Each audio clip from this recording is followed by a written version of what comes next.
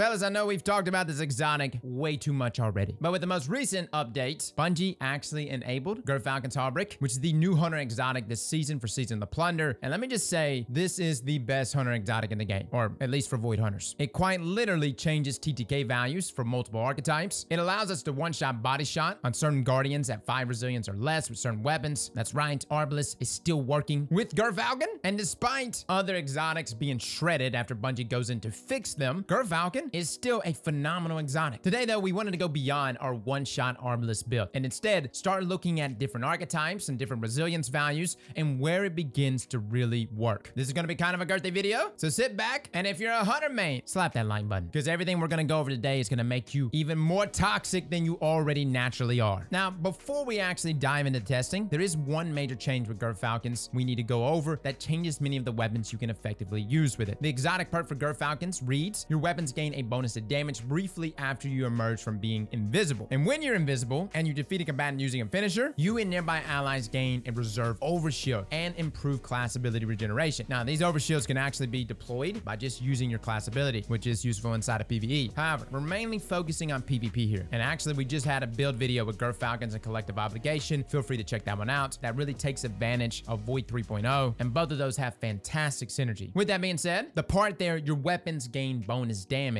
briefly after you emerge from being invisible. This buff does not activate the moment you shoot and become visible. There is a slight delay between your invisibility deactivating and you receiving the buff to your weapons. Now, Bungie actually updated our UI, and you can actually see there at the bottom left end of the screen when a weapon buff is actually being applied, or in this case, an exotic armor weapon buff. So a good visual indicator of this. However, with that being said, this does mean that certain weapon types will not be viable with Gyrfalcons. Granted, it is possible to just get the buff if you wait for your invisibility to run out, or throw an ability, or do something else to actually drop that invisibility, but that is just more time added to each engagement, and the idea here is to be able to spring directly out of invisibility and have super deadly TTK values. Now, this buff is actually a 15% buff, which is stronger than that of Radiant, which is 10%. And to kind of wrap your head around this, think of this as like a mobile empowering rift. Now, weapons to avoid when it comes to synergizing with Gyrfalcons includes things like snipers, shotguns, bows, and even glaives. Now, I know glaives, you can kind of utilize it, but you notice these are like one-shot weapons. There's nothing deactivating invis when you're coming out of it. All of these weapons will not receive that damage buff on your first shot, and if you're wanting to take advantage of invisibility with them, you might as well just be using Omnioculus or another exotic with invis synergy. Now, weapons that we're kind of on the fence about, grenade launchers. The reason why GLs are kind of on the fence is they either kill in one hit or they don't. There is a small delay between coming out of invisibility before the damage buff is even included, but you do have to have enough distance between you and the target. That means if you're too close, it won't work. Granted, most people are swapping to another weapon or using an ability to secure the kill after firing a GL shot. The point is, this doesn't necessarily equate to easier one-hit kills with grenade launchers. Now, submachine guns. SMGs can actually be really decent with this exotic. You're coming out of invis, you're amplifying that damage by 15%.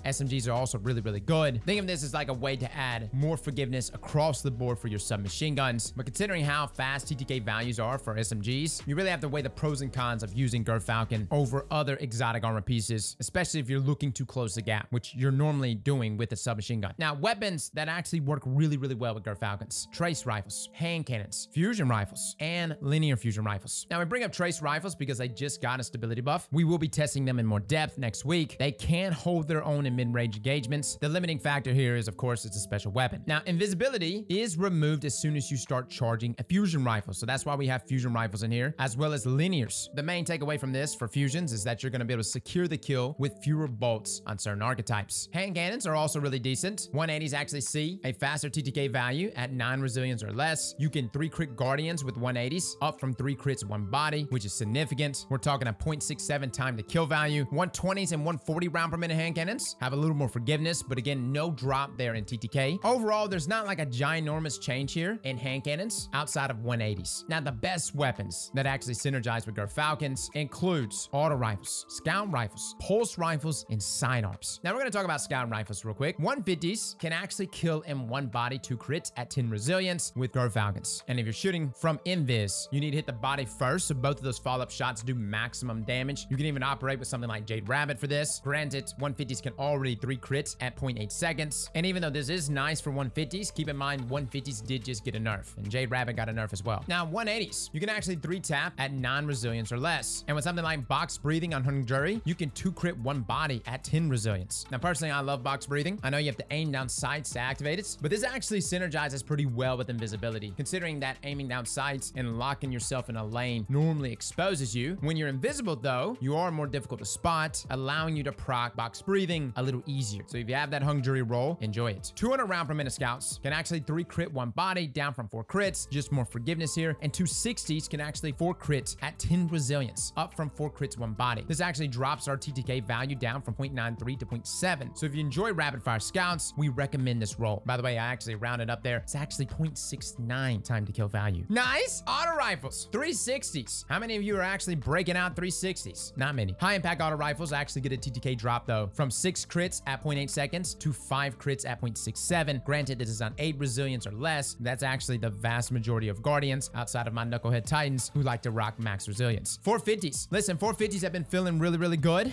I was actually playing with Ammon here recently. We're going to be re-reviewing a lot of different 450s, including the new ones that drop with Festival of the Lost or quote unquote new ones. Precision frame auto rifles though got a buff. And with Gyrfalcons, this actually drops the TTK down from five crits to two body at 0.8 seconds to now five crits, one body at 0.67 seconds at 10 resilience. So not only you're able to get that 0.67 TTK, you're able to do it on max resilience guardians, which is impressive. Now 600 round per minute auto rifles, also known as adaptives, also get a drop in TTK down from nine crits at 0.8 seconds to now eight crits at 0.7 seconds. Somebody break out that hard light. 720s, rapid fires also get a nice TTK bump down from 10 crits at 0.77 seconds to nine crits at 0.67 seconds. And by the way, this is also at 10 resilience. Across the board, you can see where this is really benefiting these automatic type weapons. Now moving on to pulse rifles, 540s, 450s, and 340s. Guys, we're going to talk about lightweight aggressives and rapid fires, as well as high impacts here. They mainly see minor changes to TTK values, meaning overall minuscule benefits.